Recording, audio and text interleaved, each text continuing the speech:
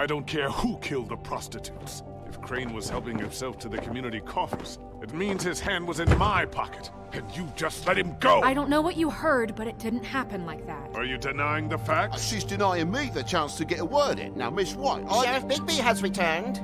Ah, there's the old wrecking bowl himself. Bigby, where have you been? I'm not finished here, Miss White. You will have to wait. Just one moment, please. Look what I found.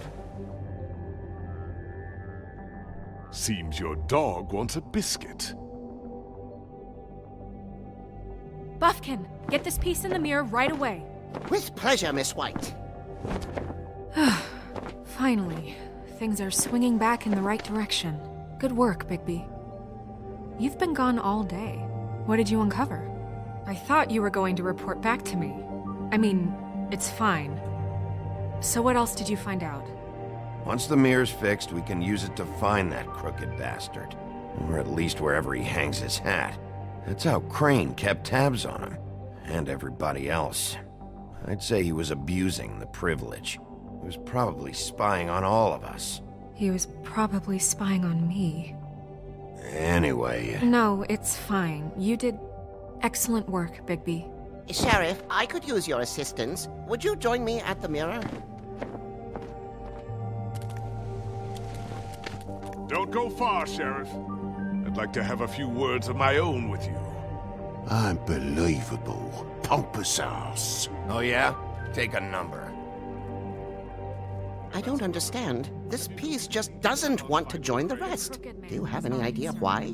Did he murder the Got me. Not necessarily. Well, where did you find it? What has it gone through since being separated from the rest? Shattering is a very traumatic experience, you know. So this process can be a little touchy. Reptiles? Helps that I have a good working relationship with the mirror. And I don't mind speaking in rhyme. So, can you think of anything? Had a front row seat to a pretty gnarly brawl at the Lucky Pawn. When I found it, it was still in Crane's coat. Last person I saw with Crane or his coat was that psycho Bloody Mary. Maybe she had some. Ah, yes, Miss White was asking about her. That explains it. You know who and the mirror have a very unhappy history with each other. How would you like it if she tried to use you as a doorway? I think I already know the feeling. Well, I think I know how to proceed now. It will just take a little extra coaxing, that's all. Thank you for your help. If there's been trouble, It could be a while, Sheriff. I'll find you when it's ready. Besides which, he might not want to come out with you watching.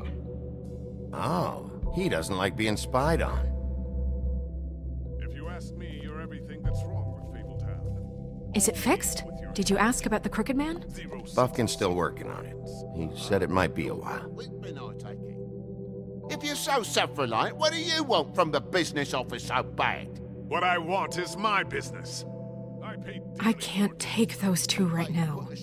We're trying to catch a murderer, and they're.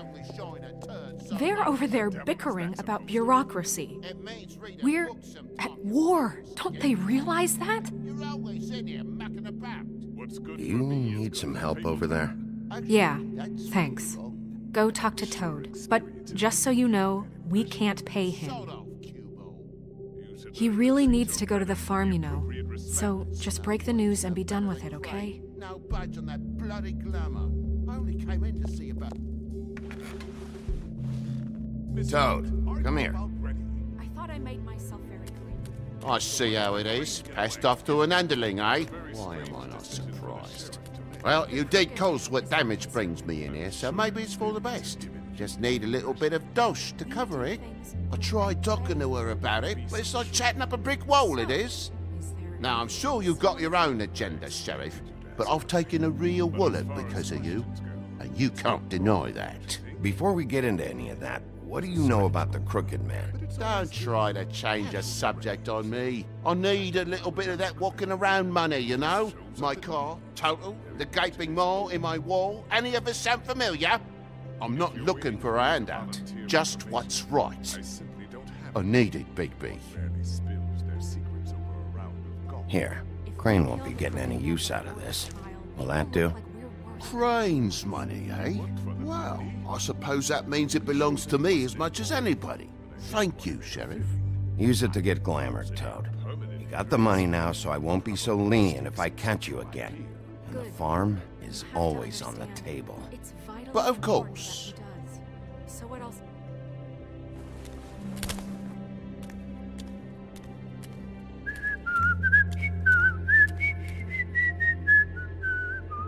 Bluebeard, you want to talk? Now's your chance. I've just made my donation funding this office, so direct your questions to Miss White. Well, at least he's not trying to get rid of me. He's not? For now. Did you take care of Toad?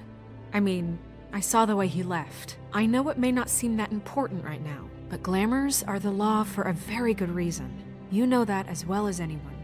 Don't worry. I did the right thing. Are you sure? Because he left looking pretty happy. Fine, we'll deal with it later. I know I should be asking how it got like this, but I just keep wondering why it happened. To Faith and Lily. You've seen his world. Do you have any idea why he'd want them dead? I don't know if the Crooked Man killed them with his own hand or if it was one of his goons, but someone did. What would make a person do that? What could those girls have done? If there's one thing I figured out, it's that the Crooked Man is all about control. It's what he does with the loans at the pawn shop, the magic he peddles, chains, ribbons. Maybe Faith and Lily weren't doing what they were told. Or maybe they just tried to leave. Sheriff, Miss White, I believe the mirror is repaired. I have to say I have been better. But thanks for putting me back together. I'm sorry, I just. I have to know. Mirror, mirror, we're glad you weren't slain. Now please show us that sick creep crane.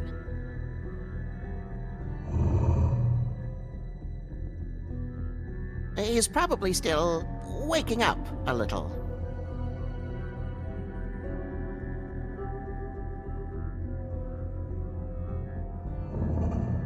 You will get on that plane to Paris, and you will wait for the day the Crooked Man needs you. Until then, not a peep.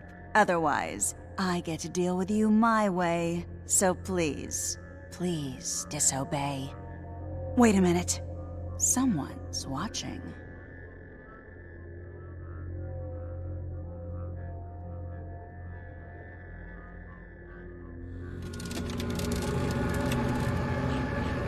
What just happened? We pointed you in the wrong direction and looked at Bloody Mary's reflection. Oh, her. That explains the sting. I'd rather not have to feel the pain she brings. So, let's not do that again, okay? Looks like we'll have to track him down later. You're right. We need to focus on the immediate threat, and that's the Crooked Man.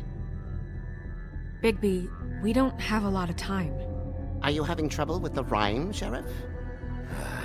Mirror, mirror, no time to pout. So, where does Crooked Man hang out? I don't recognize the door, but that's the Crooked Man symbol on it. Hold off.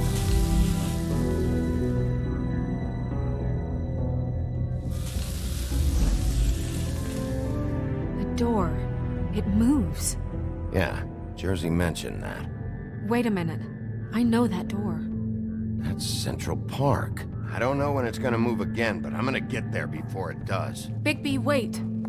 When you get the Crooked Man, make sure you bring him back alive. He has to stand trial. We can't just dispense street justice. I know that emotions can run high, and you have your reasons to handle this a certain way, but we have to make a commitment to working within the law. I'll catch him and bring him back here, alive. Then we can clean him and cook him together. Good. I have enough to worry about here while I prepare the case against him. So I'm going to trust you to handle this properly. That is, if you think you're ready. Of course I'm ready. I got no other choice.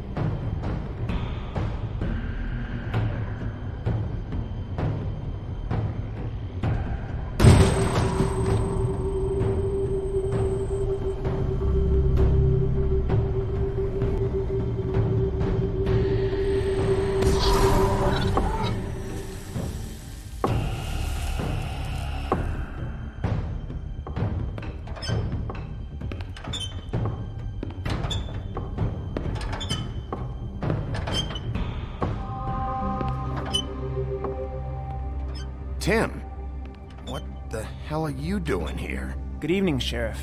I'm here to take you to the boss. Thanks, by the way, for leaving off Tiny.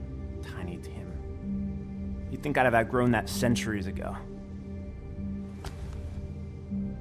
I have to admit, when they asked me to watch the door, I wasn't sure what to expect when you came through that portal. I know you aren't here on a social call, so thanks for not giving me a hard time. What is this place? Or where is it? I know I'm not in Central Park anymore. I'm not sure. I've only ever come in through one of the portals. I don't think you can get in from the actual street. But you can't blame him for wanting to make it hard to find. I'm supposed to bring you right on in, so if you'll come this way. Look, this is the one thing I have to do. Please don't make this hard on me. I don't want to get in trouble. Will you just follow me? Fine, lead on.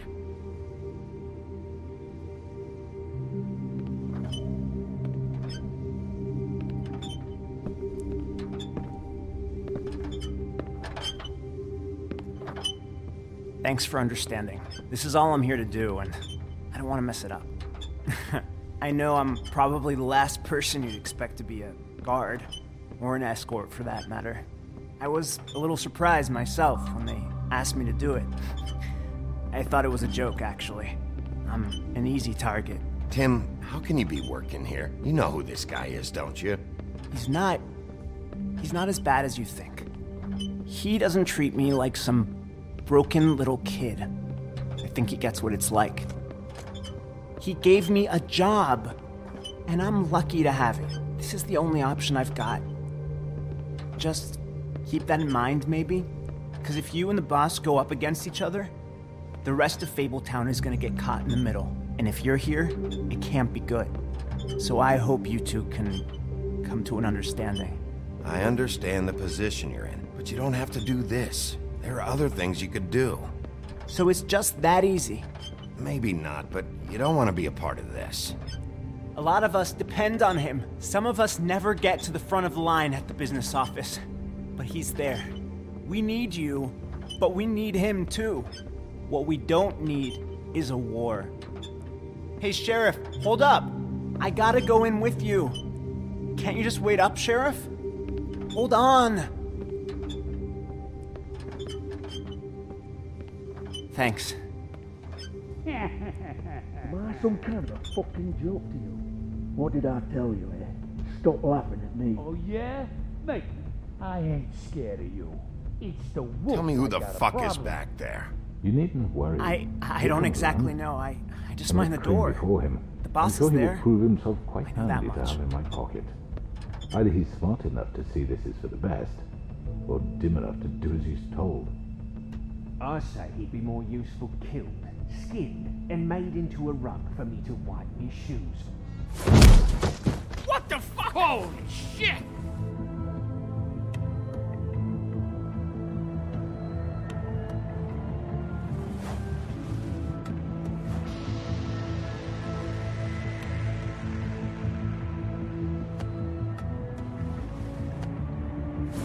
Was wondering when you'd turn up.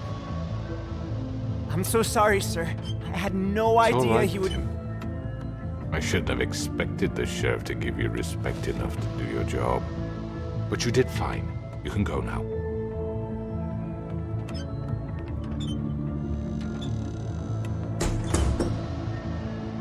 You see, everyone in Fabletown has a role to fill. You just have to pay attention to what they need to help them find it.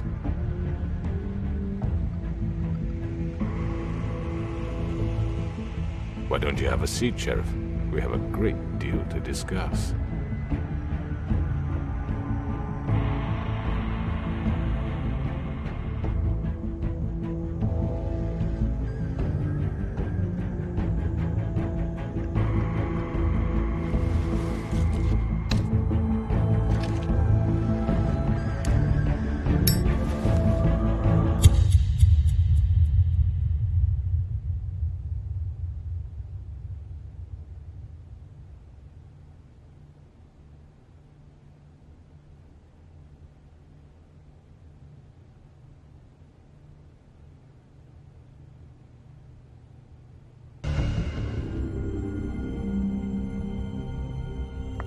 I've heard stories about you. In the old days, how you picked off those men one by one. Oh, how they screamed.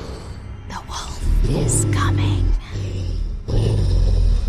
And they would wait, hiding anywhere they could squeeze their pathetic, shivering corpses.